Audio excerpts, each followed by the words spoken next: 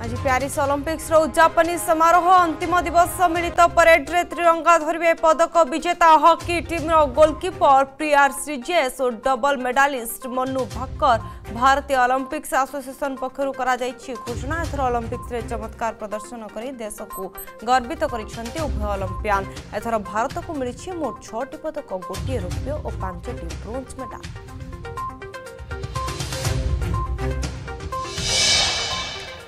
कौन हे भिनेश फोगाट भाग्य भारतीय कुस्ती योद्धा को मिल कि अलंपिक रौप्य पदक court of arbitration for sports CAS रे आज राति सुधा आसव चूड़ा राय अधिक शहे ग्राम ओजन जो पचास के जी वर्ग फाइनाल खेल वंचित होते भिनेश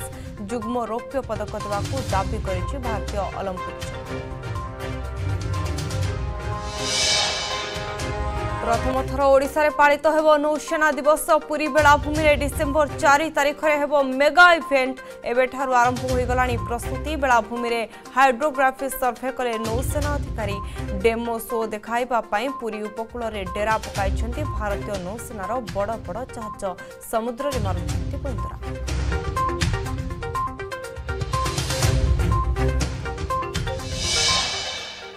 କଟକରେ ପୁଣି ତେଜିଲା ବିଜେଡି ଗୋଷ୍ଠୀ କନ୍ଦଳ ମେୟର ସୁବାସ ସିଂଙ୍କୁ ସିଧା ଟାର୍ଗେଟ କଲେ ବିଜୁ ଯୁବ ଓ ଛାତ୍ର ଜନତା ଦଳର ନେତା ଦାବି କଲେ ଇସ୍ତଫା ସୋସିଆଲ ମିଡିଆରେ କହିଲେ ବିଜେଡି ସହ ବିଶ୍ୱାସଘାତକତା କରିବା ମେୟରଙ୍କୁ ଆଗାମୀ ଦିନରେ କରାଯିବ ଜୋରଦାର ବିରୋଧ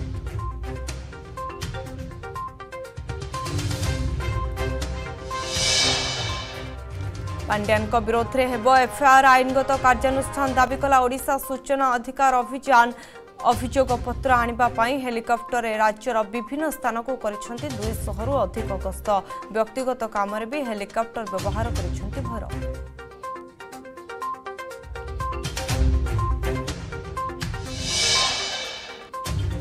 ବାଂଲାଦେଶୀ ଅନୁପ୍ରବେଶକାରୀଙ୍କ ପାଇଁ ମୁକୁଳା ଭଦ୍ରକ ଉପକୂଳ ଜିଲ୍ଲାର ତିନୋଟି ମରାଇନ୍ ଥାନାରେ ନାହାନ୍ତି ଆବଶ୍ୟକ କର୍ମଚାରୀ ହୋଇପାରୁନି ପାଟ୍ରୋଲିଂ ଧାମରା ନିକଟ କଲାମ କ୍ଷେପଣାସ୍ତ୍ର ପରୀକ୍ଷଣ କେନ୍ଦ୍ର ପ୍ରତି ବି ହୋଇପାରେ ବିପଦ ଉପକୂଳ ସୁରକ୍ଷା ନେଇ ଉଠିଲା ପ୍ରଶ୍ନ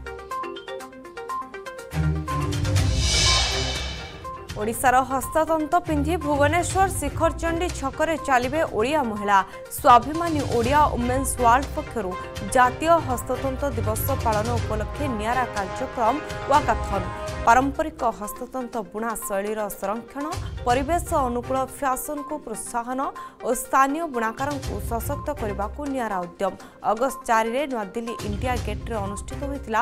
ଅନୁରୂପ କାର୍ଯ୍ୟକ୍ରମ